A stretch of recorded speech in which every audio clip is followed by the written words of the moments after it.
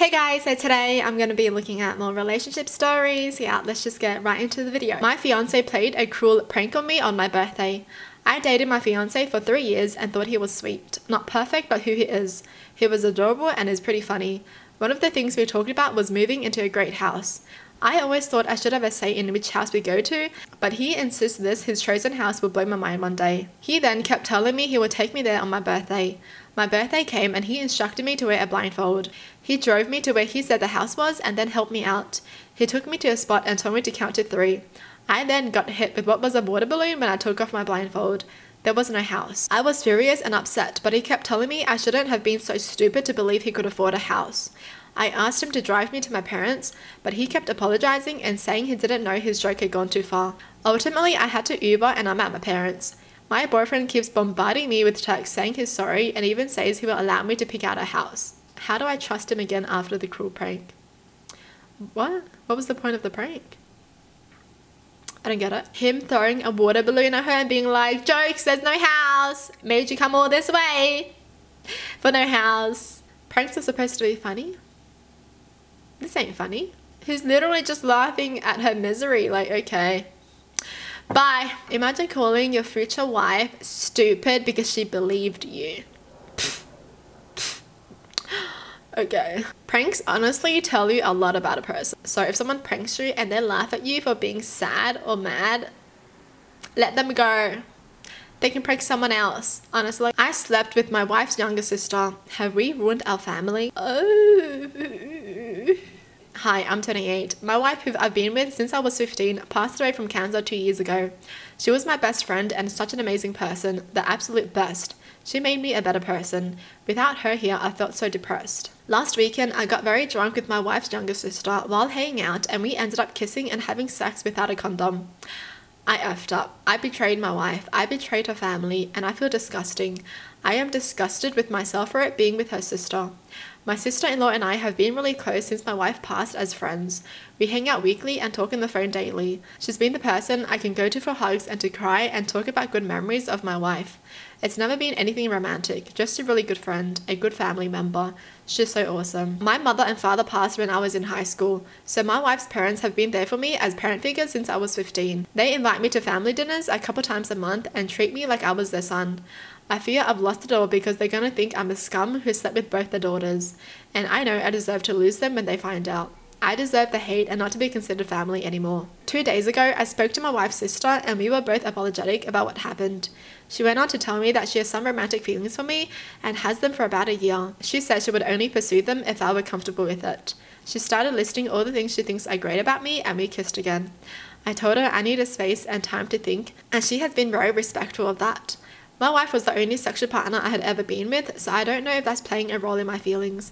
But yeah, I like her and she makes me feel happy and she's truly a good friend. I just see her as someone who's amazing, who's going to be an awesome mum and wife to someone. She's beautiful and I can't look at her like a sister anymore even when I try. I know my wife would hate me right now. I talked to my mother-in-law yesterday, who I talked to about everything and I felt like a piece of shit not telling her what happened with myself and her daughter. Now I'm a liar too on top of everything. The worst part is yes, I would like to explore my feelings. Yes, I have strong feelings for her.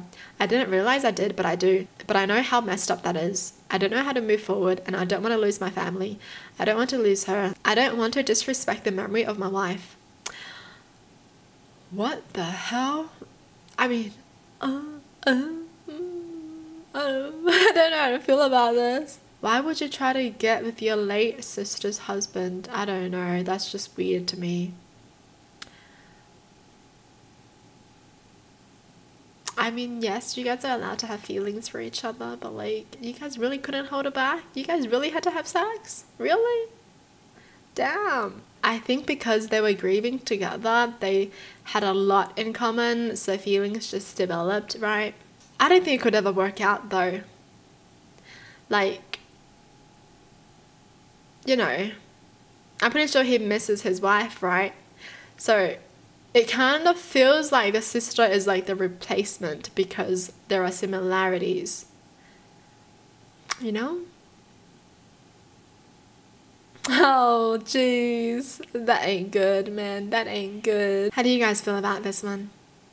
How do you guys feel? Put yourself in that shoe. let's say you were like the ghost of the wife, right? And you saw that happening.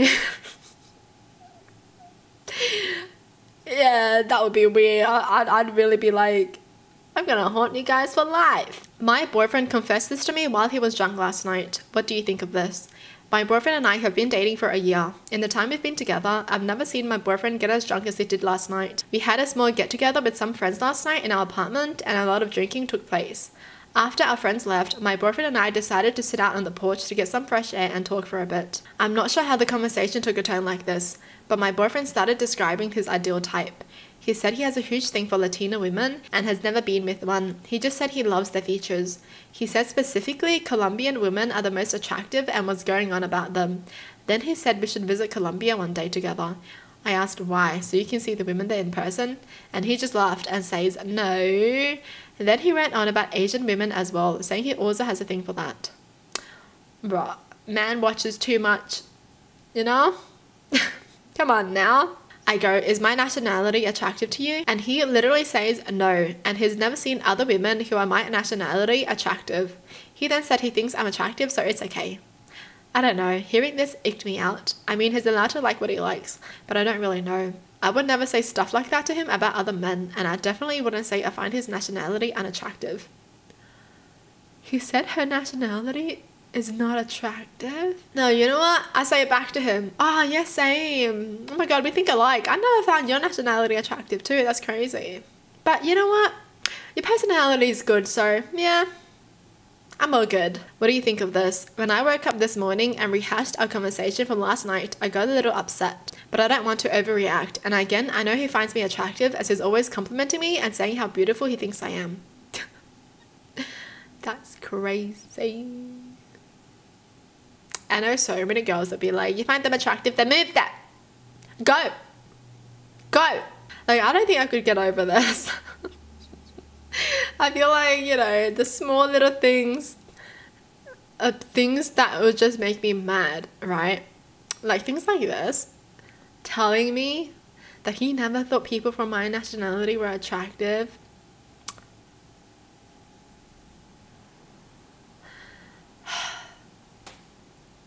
all right then. you know, you can go to the countries that you feel have the most attractive women and date someone there. Bye. There are attractive and unattractive people from every country. It just depends on your eyes. Beauty is in the eye of the beholder, bro. Oh, I get so turned off if I was dating someone like that. Ew. Well, that's it for the video. Hope you guys enjoyed. Tell me in the comments down below what your thoughts are. And as always, thanks for watching. Hope you guys liked it. And I'll see you guys next time. Bye.